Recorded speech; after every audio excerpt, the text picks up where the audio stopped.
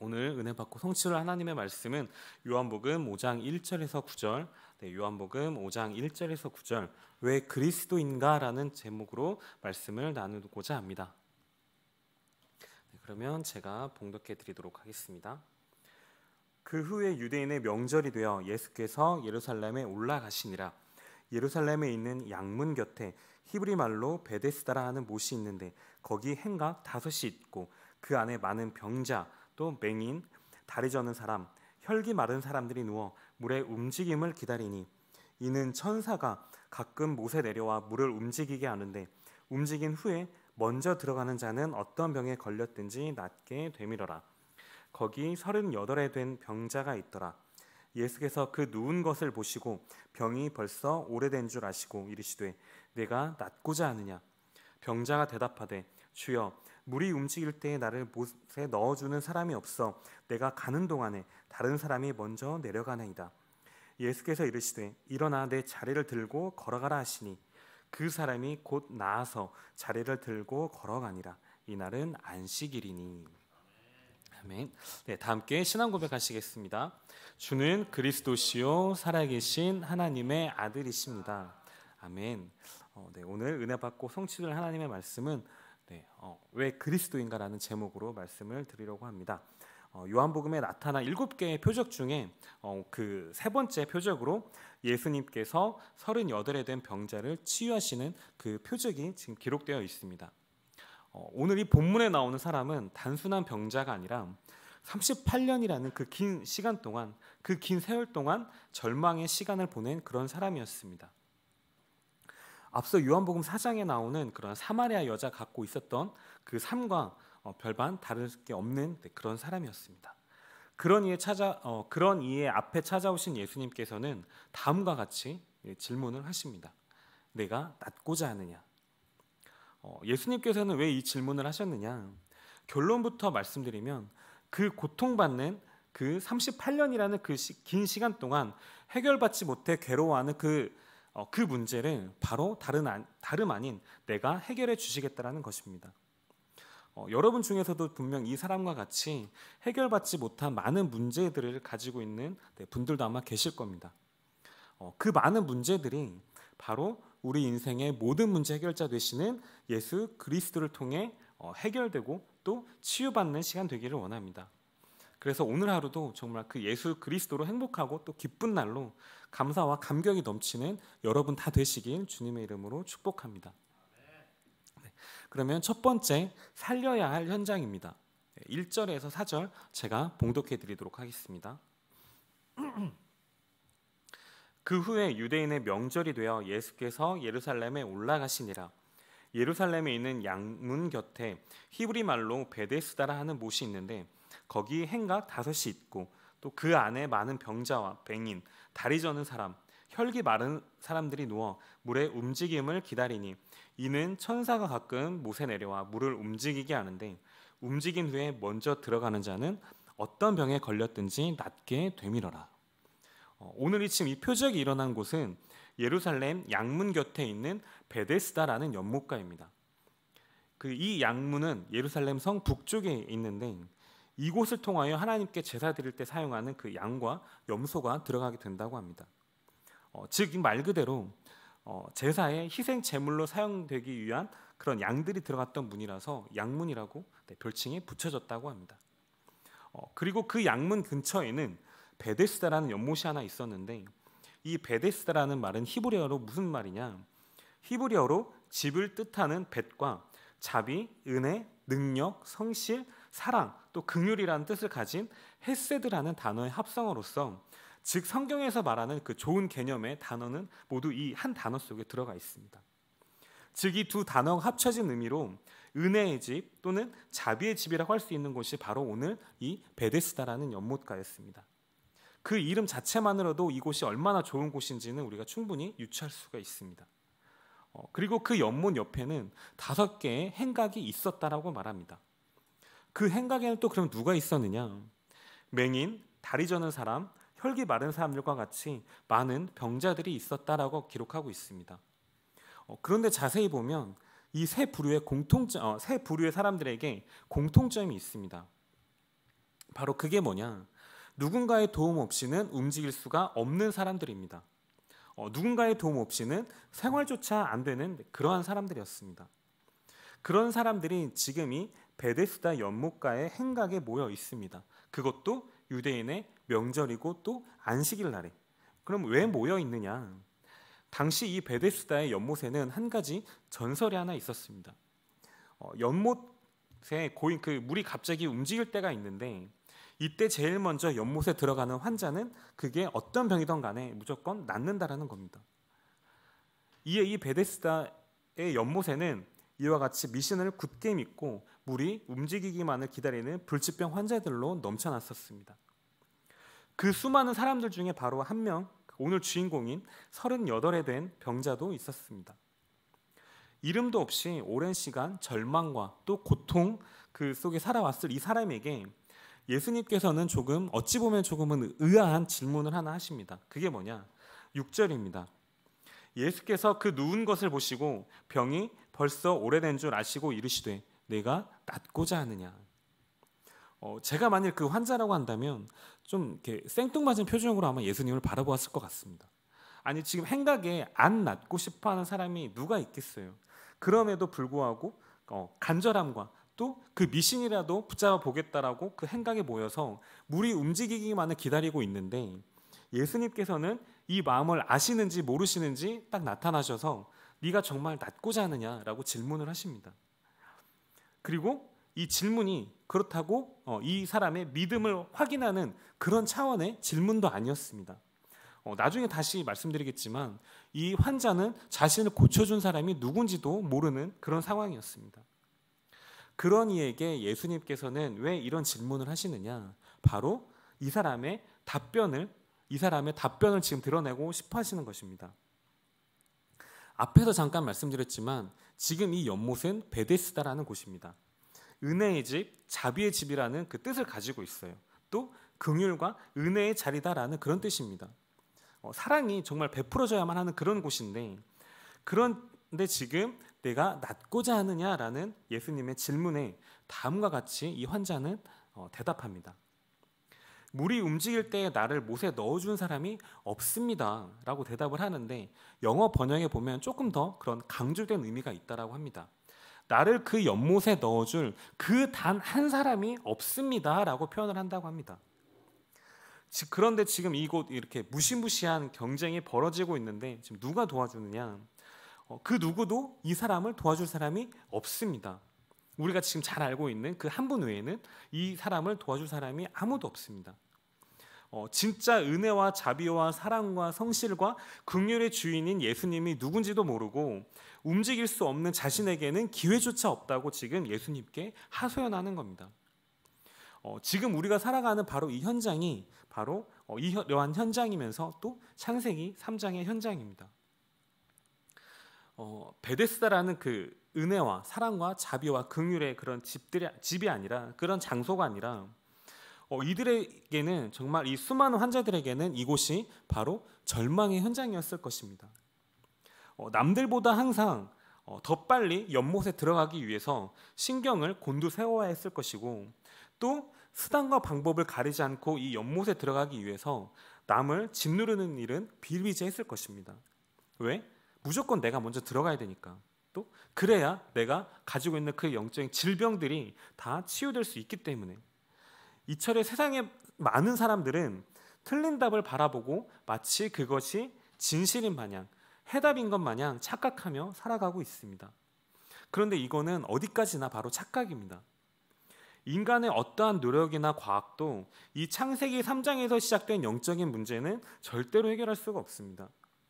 그리고 창세기 6장에 네피림, 우상, 미신, 그리고 사탄의 역사는 절대로 인간 스스로 막을 수가 없습니다.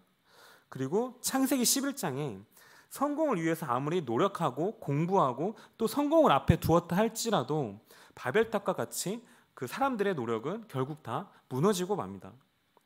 즉 인간에게 찾아온 그 12가지의 영적 문제는 인간 스스로 노력한다라고 해서 또 종교나 과학으로 철학으로 미신으로 절대 해결할 수가 없습니다. 그렇기 때문에 하나님께서는 이 영적인 문제를 해결해 주시고 또 참 자유와 해방을 주시기 위해서 이 땅에 예수님을 그리스도로 보내주신 겁니다. 8절과 9절입니다. 예수께서 이르시되 일어나 내 자리로 들고 걸어가라 하시니 그 사람이 곧 나아서 자리를 들고 걸어가니라 이날은 안식일이니 어, 이 모든 문제를 해결하실 수 있으신 그 예수님께서 구구절절한 설명도 하나 없이 바로 그 38년 된 병자에게 단도직입적으로 말씀하십니다. 일어나 내 자리를 들고 걸어가라. 그리고 이 사람은 곧 어, 나아서 자리를 들고 걸어 나가는 기적이 일어나게 됩니다. 그리고 오늘 이 본문 이후의 말씀에 보면 이 환자는 또 전혀 믿음도 없었고 심지어 예수님이 누군지도 모르는 그러한 상황이었습니다. 그럼에도 불구하고 이 환자에게는 치유와 회복의 역사가 일어났습니다. 그렇다면 예수님께서 이러한 표적을 보여주신 그 이유가 뭐냐? 바로 모든 문제의 해결은 예수 그리스도께 있다라는 것을 강조하시기 위함입니다. 그래서 예수 그리스도를 영접하면 우리에게 사로잡고 있던 사주팔자 운명에서 벗어나게 될 뿐 아니라 나에게 내려져 있는 그런 모든 죄와 저주 문제가 끝난다는 거예요. 하지만 지금 이 베데스다 연못과도 같, 어, 베데스 연못과도 같은 창세기 3장의 현장에는 38년 된 병자처럼 혼자서는 예수님을 믿을 만한 그런 힘도 없고 내 생각 속에 어, 내 생각으로 착각 속에 신앙생활을 하는 경우도 있습니다. 우리는 이런 사람들에게 예수는 그리스도, 정말 인생 모든 문제 해결자라는 이 변하지 않을 진리와 또 해답을 가지고 현장에 나아가야 합니다. 그래서 정말 이번 주 강단의 말씀을 정확하게 붙잡고 바울의 그 생명 살리는 열망이 바로 우리의 열망이 되기를 원합니다. 그래서 우리 주변에 있는 그런 불신 영혼들에게 어, 영원한 생명의 축복을 전달하는 그리스도의 절대 제자 다 되시길 네, 주님의 이름으로 축복합니다. 네, 두 번째 살려야 할 시각입니다. 네, 9절과 10절 제가 봉독해 드리도록 하겠습니다. 그 사람이 곧 나아서 자리를 들고 걸어가니라 이날은 안식일이니 유대인들이 병 나은 사람에게 이르되 안식일인데 내가 자리를 들고 가는 것이 옳지 아니하니라. 예수님의 말씀을 듣고 38년 된 이 병자는 곧 일어나서 자리를 들고 걸어갔습니다. 그런데 하필 이날이 어떤 날이었느냐? 바로 유대인의 명절이자 안식일이었습니다. 그래서였는지 유대인의 그 지도자들은 이 병자가 자리를 들고 또 걸어 나간 그 모습을 보고 그 행동이 안식일의 규례를 어긴 것이다라고 말하면서 책망합니다. 이 사람이 지금 병이 나은 것을 축하하기는커녕 어, 오히려 옳고 그름을 네, 따지고 들었습니다. 병이 나은 사람의 그 기쁨은 안중에도 없고 오히려 지금 이 사람에게 지금 시비를 걸고 있는 것입니다. 왜냐? 그들의 관심은 오직 율법에만 관심이 있었기 때문입니다. 그리고 12절에 유대 지도자들의 질문도 조금 보면 좀 이상합니다. 누가 너의 병을 고쳐줬냐라고 물어보는 것이 아니라 너더러 이 자리를 들고 걸어가라 한 사람이 누구냐라고 물어보고 있습니다. 지금 그들은 38년이라는 그 긴 시간 동안 병으로 큰 고통 속에 있었던 그 한 사람이 치유되고 회복되었다는 것에는 전혀 관심이 없고 안식일을 범한 그 사람이 바로 누구냐라는 것에만 관심이 있었습니다. 이것은 율법도 아니고 바로 자신들이 정한 그 규례를 가지고 정죄하는 것이었습니다. 왜? 유대 지도자들에게 예수님은 어, 눈엣가시 같은 그런 존재였기 때문에. 왜? 예루살렘에 생하신 그 이적들로 인해서 자신들의 기득권과 지위가 흔들리고 있었기 때문입니다. 이들은 지금 현장을 보면서도 그 현장을 제대로 보지 못했습니다. 왜? 현장에는 지금 관심이 없기 때문에. 어, 이들 현장에는 복음만 들으면 분명히 살아날 자들이 얼마든지 있는데도 불구하고 그리스도만 말하지 못합니다. 왜요? 모르니까. 어, 그래서 사람이 38년 만에 치유받고 회복되는데도 불구하고 함께 전혀 기뻐하지 못합니다. 이 또 이들은 현장을 향한 애통함이 없습니다. 왜? 복음을 전혀 제대로 알지 못하기 때문에. 그래서 율법과 전통을 중요시하고 규례와 형식을 중요시할 수밖에 없었습니다. 어, 하지만 정말 복음을 제대로 알면 치유와 회복의 역사가 일어납니다. 요한복음 3장 16절 너무나도 잘 아는 말씀이죠. 하나님이 세상을 이처럼 사랑하사 독생자를 보내주셨으니 이는 그를 믿는 자마다 멸망하지 않고 영생을 얻게 하려 함심이라. 네.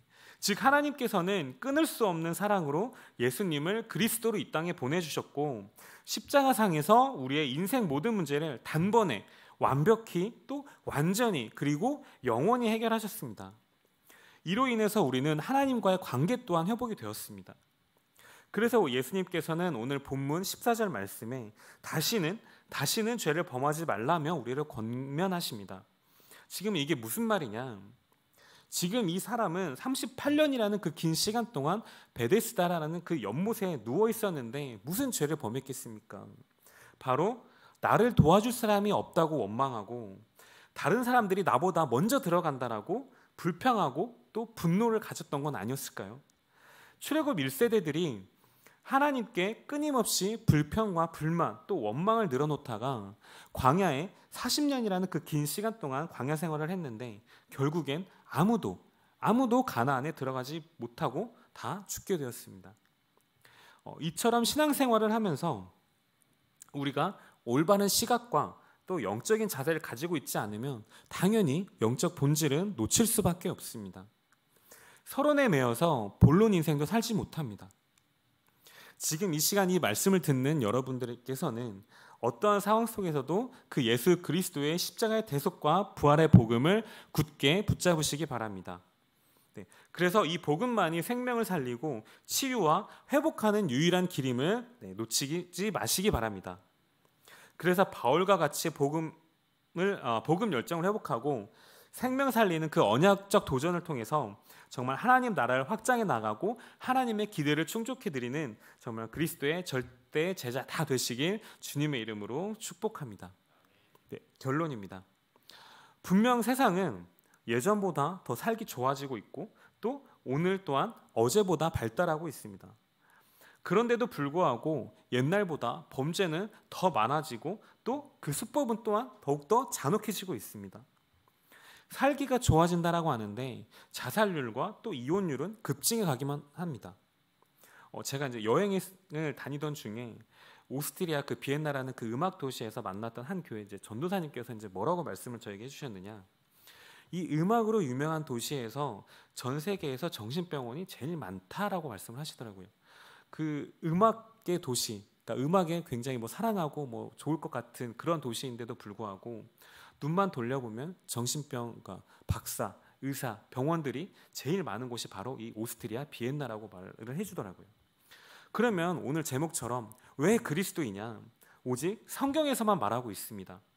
요한복음 20장 31절에 이것을 기록한 이유와 목적이 예수님이 하나님의 아들 그리스도이심을 믿게 하기 위해서 기록했다. 또 그 이름을 힘입어서 생명을 얻게 하고자 이그 말씀을 기록했다라고 되어 있습니다.